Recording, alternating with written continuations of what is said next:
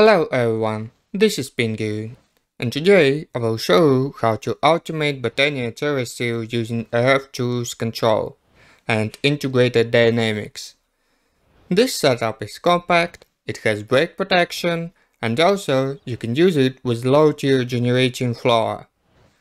This video may be helpful for those who are learning RF control or integrated dynamics, or for those who are trying to make their own terrasteel farm.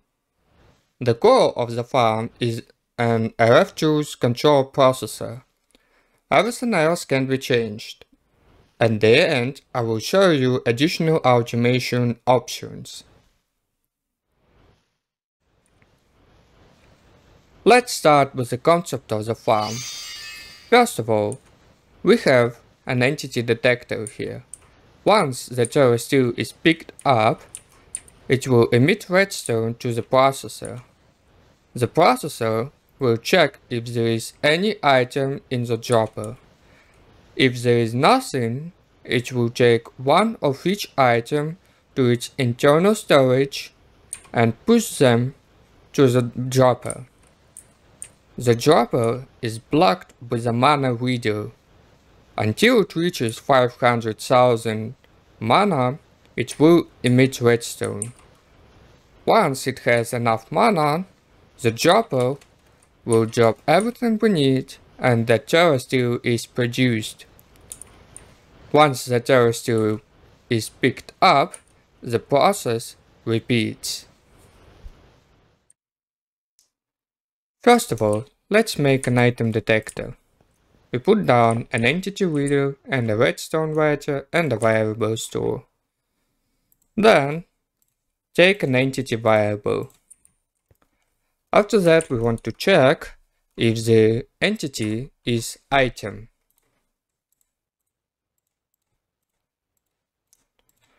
We want to emit redstone when there is no item, so we invert the card.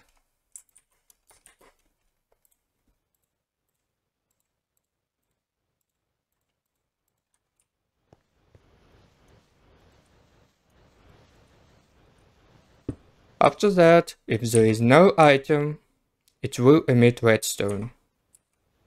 When there is an item, it won't emit anything.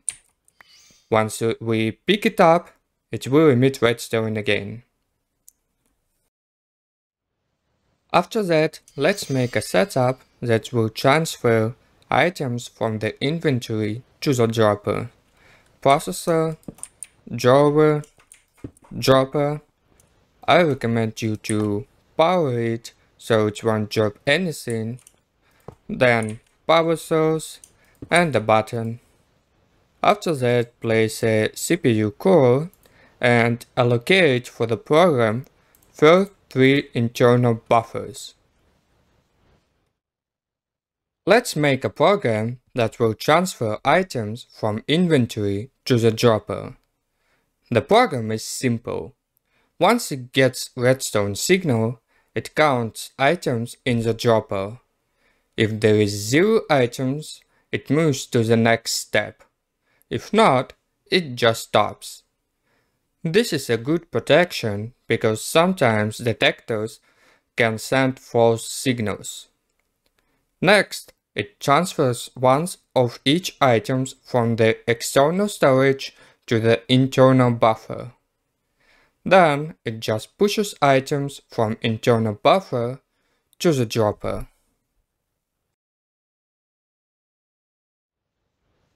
I will leave the program in the description so you can just copy paste it. Just make sure that the, this setup is facing the right direction.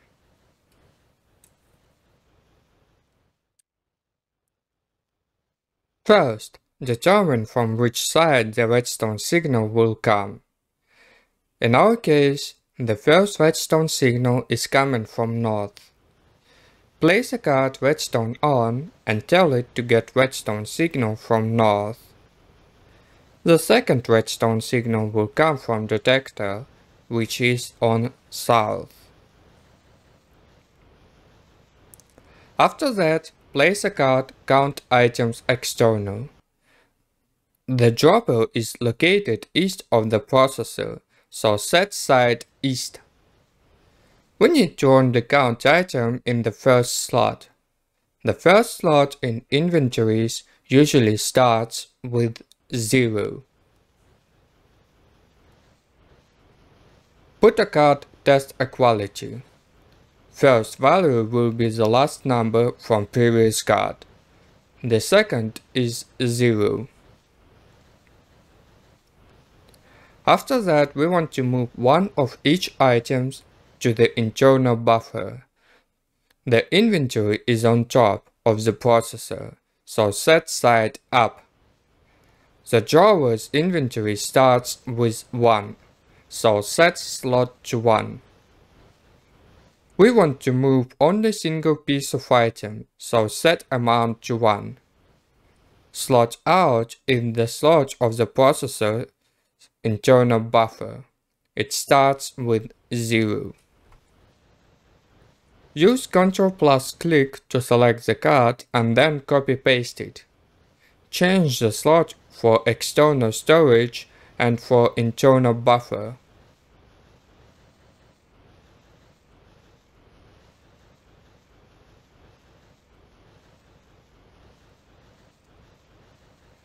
Make sure you connected the cards with green dots. Just double click to change connector.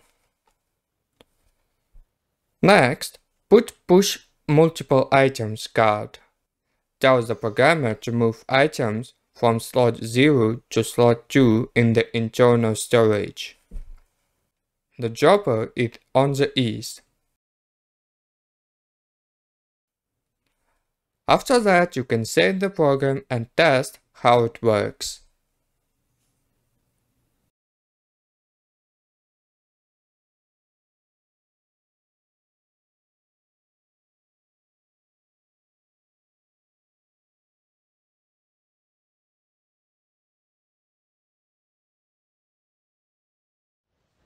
Programming with RFTools controls can be tricky. In case your program doesn't work, here are some recommendations. First of all, make sure that you set the right side. Second, make sure that you are using right slots. Third, all cards should be connected with green dots. Fourth, Make sure that you are using white cards. Probably you are using the wrong one. And fifth, you can remove a part of the program and check each of individual steps. The hardest part is behind, so let's make a system that will read the amount of mana and emit redstone if there is less than 5 hundred thousand amount of mana in the pool. Place a block reader, redstone writer, display panel, variable store. Get an entity NBT card and as you can see we get information about the pool. You can watch my previous video to get more information about data extraction. Next, we want to get the integer of mana.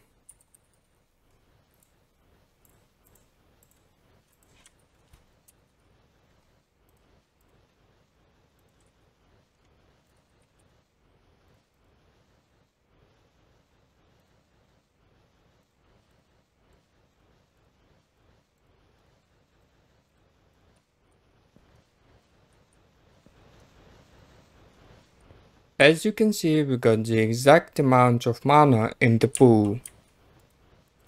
After that, we want to emit redstone if there is less than half of the mana pool.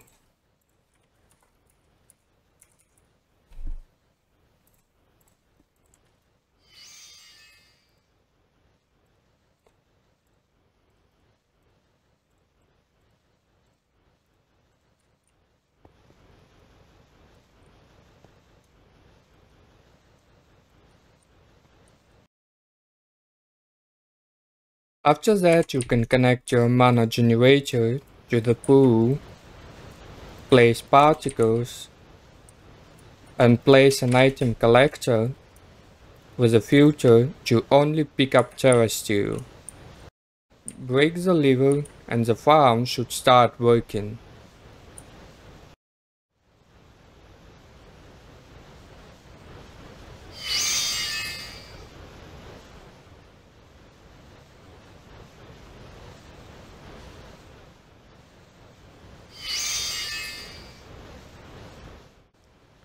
You can also connect ME system to this farm using export bus with a crafting card so the farm will keep running continuously.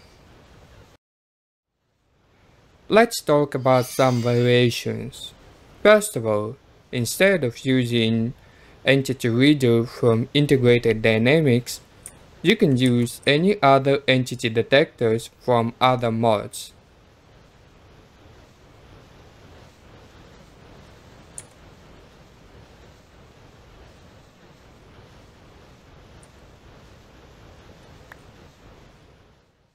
In case you don't have actually additions, you can use a dropper with a timer.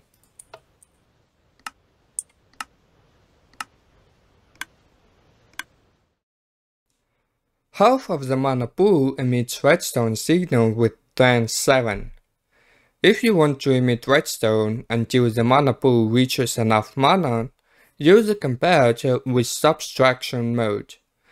Place a redstone dust next to the comparator that emits signal with trans 7. So 15 minus 7 is equal 8. That means that until the mana pool reaches enough mana to emit redstone signal with trans 8, the dropper will be blocked. You can use an advanced redstone torch from random things or an inventory with enough items in it to emit redstone signal with trans 7. And don't forget to invert the signal with redstone torch. If you have Thermal Dynamics, I recommend you to use structural duct with a redstone relay. Use a comparator input and a redstone output with a threshold of 7.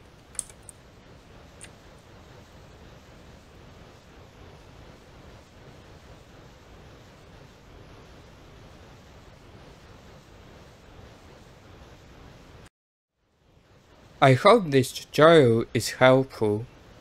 I wish everyone good luck. Bye bye.